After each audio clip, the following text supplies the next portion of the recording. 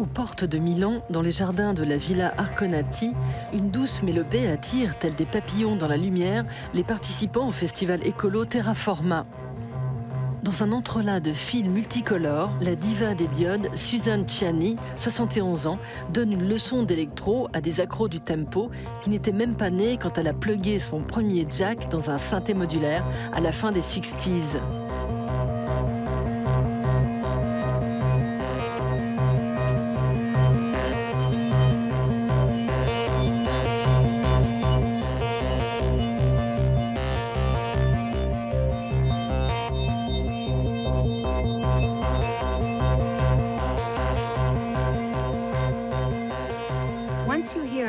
Une fois que tu as entendu de la musique électronique, ton oreille change.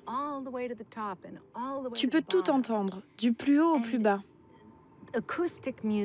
Après ça, avec la musique acoustique, il te semble qu'il y a un truc en moins. Ton oreille est en manque d'ultrasons et d'infrabasses. Ça a tout changé quand j'ai craqué pour la musique électronique. When I fell in love with electronic music. Welcome to Xenon. Welcome to Xenon. Welcome to Xenon.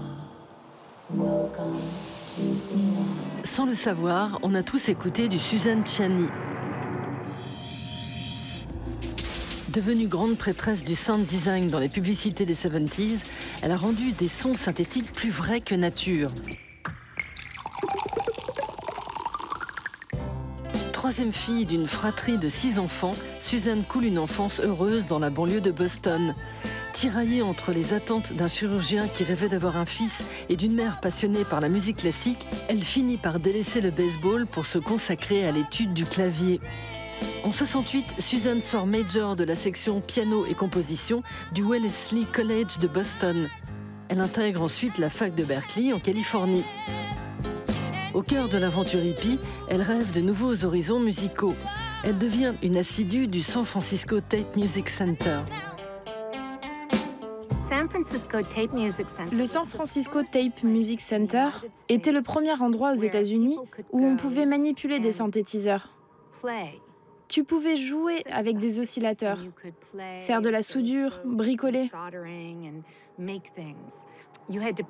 Ça coûtait 5 dollars de l'heure mais jamais personne n'est venu les réclamer.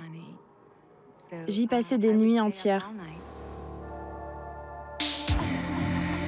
Fascinée par les synthétiseurs, Suzanne compose sa première BO pour le court métrage expérimental de son petit ami de l'époque.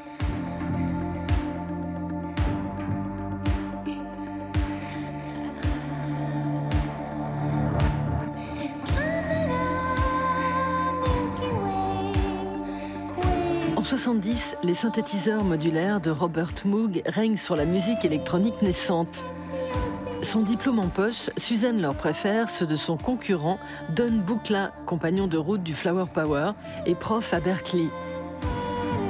Aux côtés de son mentor, elle apprend à dompter la bête.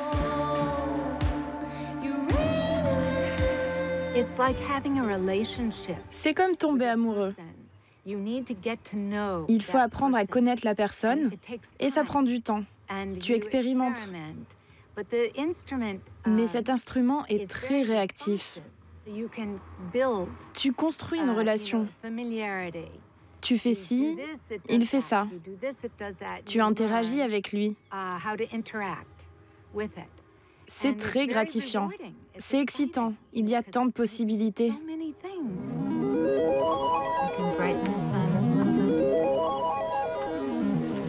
Are they? Oh, these are patch cords. This is, these are the things that route the signal from one little module to another to get the sound. You can patch it in a lot of different ways.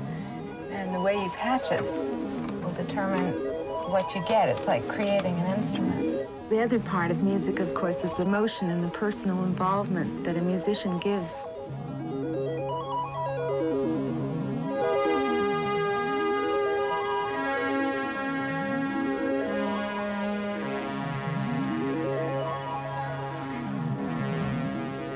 Devenue princesse du bouclin, Suzanne s'installe à New York en 1974, où elle travaille un temps avec Philip Glass.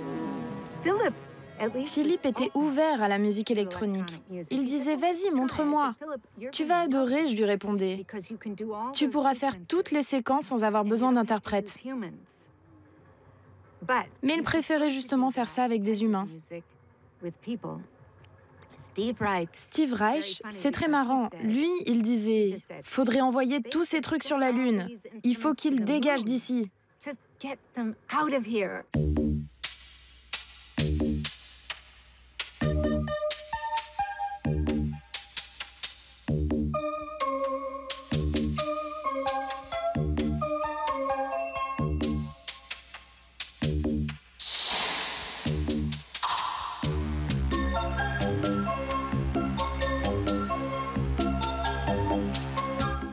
All the pitch, so you don't have to really be able to sing to do this. L'heure n'est pas encore au pop star de l'électronique. Pour gagner sa croûte, Suzanne se tourne vers la publicité qui lui fait les yeux doux. En 74, elle monte sa propre société de design sonore, réalisant bruitage et jingle pour les plus grandes marques. Cette activité lucrative lui permet de revenir à ses premières amours. En 82, elle sort son premier disque, un bijou d'ambiance qui fait un carton au Japon. J'adore travailler dur. Uh, Mon seul regret, c'est de ne pas avoir vraiment eu de vie personnelle. J'ai essayé d'avoir des histoires, mais j'étais trop occupée. Pour rêver, Suzanne se plonge dans la musique, se rabibochant même avec les instruments classiques.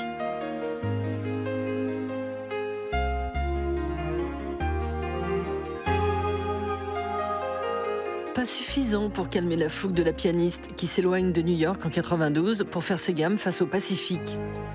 Elle y trouve son prince charmant, mais l'idylle ne dure que 7 ans.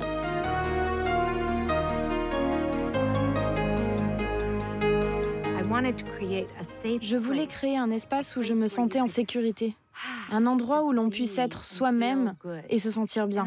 Et j'ai fait ça avec la musique électronique. En 2016, un label contacte Suzanne pour éditer ses enregistrements live réalisés au Boucla, 41 ans plus tôt. La scène électronique redécouvre sa prêtresse arrivée trop tôt et Suzanne ressort enfin ses synthés du placard.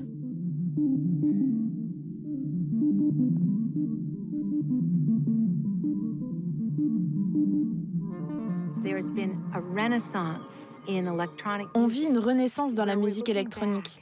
On regarde en arrière et on se dit Attends une minute, on a raté un truc Il y avait un chemin plein de promesses et on ne l'a pas suivi. Aujourd'hui, je veux montrer ce qu'on a inventé à l'époque et qu'on a oublié.